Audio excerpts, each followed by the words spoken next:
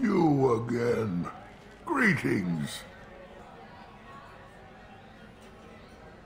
Rumor has it some people want you dead. Know anything about that? Oh, I can think of a few. I know things. Old secrets, old grudges. Few floors you can dig up to find bodies underneath. Someone who wanted to weaken Aria might come after me. They do it to get to her, you see.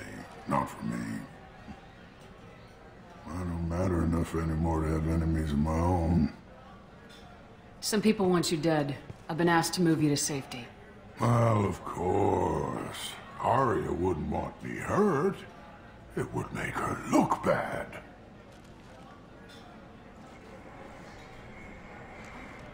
But perhaps Aria's reputation is no longer my concern. Perhaps I will stay. See who thinks me important enough to kill. You allow Aria to protect you like you're her pet? I thought you were a Krogan.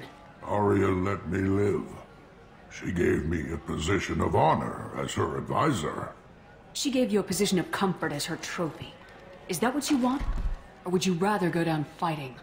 I wished she'd killed me the day she beat me. That would have been a glorious death.